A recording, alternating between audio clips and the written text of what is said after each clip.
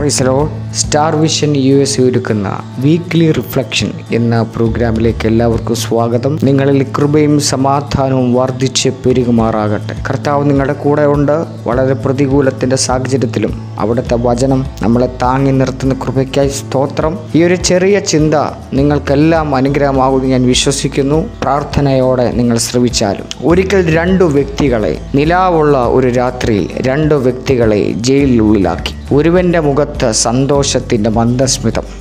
രണ്ടാമത്തവൻ jail ഇടിച്ചു പൊളിക്കുവാനുള്ള കലി കൊണ്ട് നിൽക്കുകയാണ്. ഇരുവരും ജയിലിനുള്ളിൽ കിടക്കുകയാണ്. രണ്ടാമത്തവൻ ഇപ്രകാരം പറഞ്ഞു ഹോ എന്തൊരു കൊതുകാണിവിടെ. എന്തൊരു ദുർഗന്ധമാണിവിടെ. എന്നിട്ടും നീ ചിരിച്ചുകൊണ്ട് നിൽക്കുന്നു എന്ന് ഒന്നാമന്റെ മുഖത്തേക്ക് നോക്കി രണ്ടാമൻ ചോദിച്ചു എന്തുകൊണ്ടാണ് നീ ഇങ്ങനെ ചിരിച്ചു നിൽക്കുന്നത്? ഇത്ര സന്തോഷം എന്താണ് നിനക്കെന്താ ഭ്രാന്തി പിടിച്ചു? എന്ന് ചോദിച്ചു. ഒന്നാമൻ ജയിലിനുള്ളിലെ ജനാലയിലൂടെ നിലാവിന്റെ സൗന്ദര്യം ആസ്വദിച്ചുകൊണ്ട് നിൽക്കുകയായിരുന്നു. അതിന്റെ ആ പ്രഭയെ നോക്കി താൻ സന്തോഷത്തോടെ ഇരിക്കുകയായിരുന്നു. രണ്ടാമത്തവന്റെ ചോദ്യം കേട്ട് ഒന്നാമത്തവൻ തിരിഞ്ഞു നിന്ന് മറുപടി പറഞ്ഞു സ്നേഹിത നീ പറഞ്ഞപ്പോഴാണ് ഇവിടെ കൊതുകുണ്ടെന്ന് ഞാൻ മനസ്സിലാക്കുന്നത്. നീ പറഞ്ഞപ്പോഴാണ് ഇവിടെ ഭയങ്കര ദുർഗന്ധമാണെന്ന് ഞാൻ മനസ്സിലാക്കുന്നത്.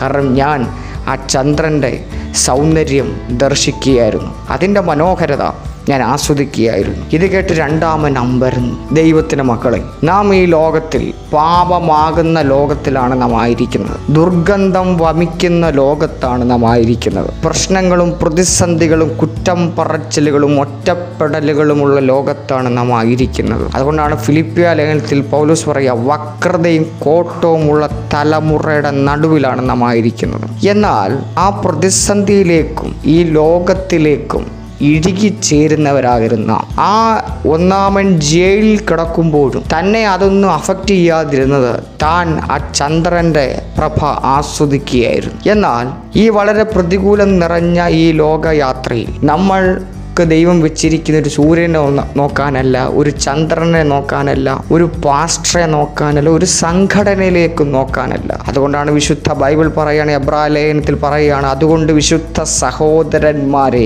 സ്വർഗീയ വിളിക്കോഹരിക്കാരായുള്ളവരെ നാം സ്വീകരിച്ചു പറയുന്ന പോസ്തോലിനും മഹാപുരോഹിതനുമായ യേശുവിനെ ശ്രദ്ധിച്ചു നോക്കുവിൻ. അപ്പം നമുക്ക് നോക്കാനുള്ള ഇടം ക്രിസ്തുവാണ്. പ്രതികൂലത്തിന്റെ നടുവിലും പ്രതിസന്ധിയുടെ നടുവിലും ഈ പാൻഡമിക് ടൈമിലും നമുക്ക് നോക്കാനുള്ള മുഖം യേശു ക്രിസ്തുവിലേക്കാണ് അവിടുന്ന് പറഞ്ഞ വചനത്തിലേക്കാണ്.